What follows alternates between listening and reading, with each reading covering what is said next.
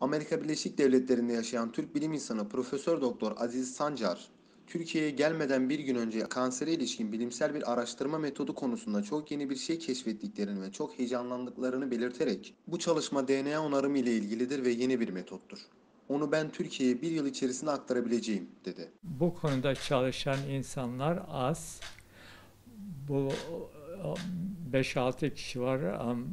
Fakat biyolojik saat konusunda çalışan e, yüzlerce kişi var.